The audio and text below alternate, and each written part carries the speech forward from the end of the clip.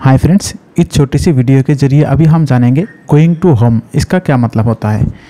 Going to home का मतलब होता है घर जाना या घर जा रहे हैं। गोइंग मतलब जा रहे हैं टू होम घर की तरफ़।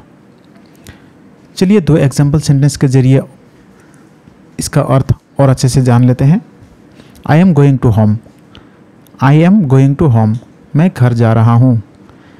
नेक्स्ट एग्ज़ाम्पल है they are going to home after work they are going to home after work वे काम के बाद घर जा रहे हैं।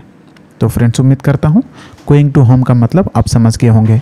फ्रेंड्स अगर आप सरल भाषा में अंग्रेज़ी में बात करना सीखना चाहते हैं और इंग्लिश स्पीकिंग कोर्स सीखना चाहते हैं डिस्क्रिप्शन बॉक्स में दिया गया चैनल को आप सब्सक्राइब कर सकते हैं। वीडियो अच्छा लगा तो वीडियो को लाइक करें और साथ साथ चैनल को सब्सक्राइब करना ना भूलें। धन्यवाद।